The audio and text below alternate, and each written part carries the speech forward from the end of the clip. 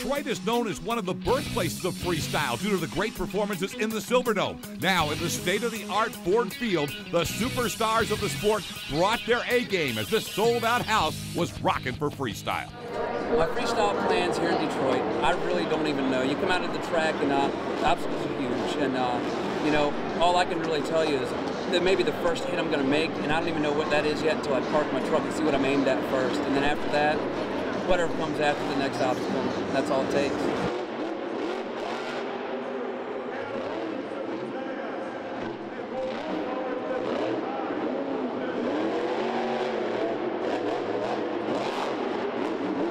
Does he not sound like his dad with the way he works the throttle? Yeah, a little bit. I think you know he's got a little different throttle rhythm than Dennis does, but uh, you know what do you expect from you know growing up in that family? I agree.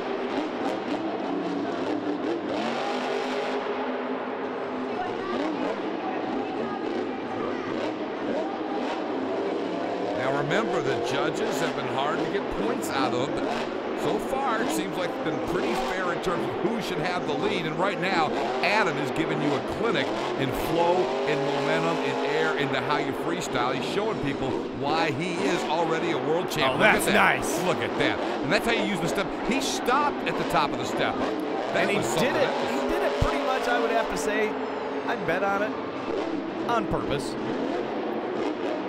You know these guys with their what a save, what a save. Yeah, that, that thing looked like it was going over, and he just effortlessly pulls it down.